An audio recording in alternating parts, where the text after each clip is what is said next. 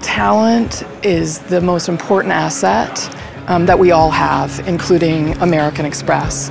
And it's precious. You need to nurture it. And I'm a firm believer that great marketing talent is going to lead to sort of great and big growth for our companies. This session today was just fabulous. There are so many action items that we can take both as individuals and as a group. I also think there's power in the collective in terms of what we can do together to help shape the growth of the industry going forward. It's an exciting place to be. We need to promote it.